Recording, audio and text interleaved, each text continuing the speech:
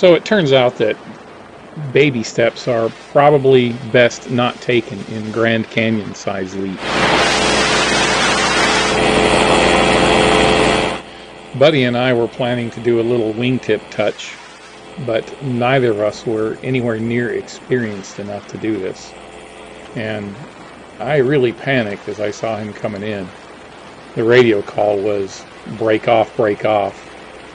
Probably didn't need to push the radio button because I'm pretty sure everybody for a few miles around heard me even over, over the motor.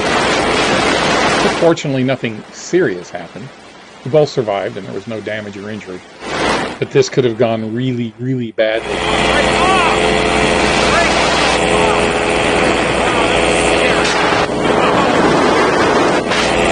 Don't try these kinds of things unless you really know what you're doing. Do it slowly and start with someone that knows better.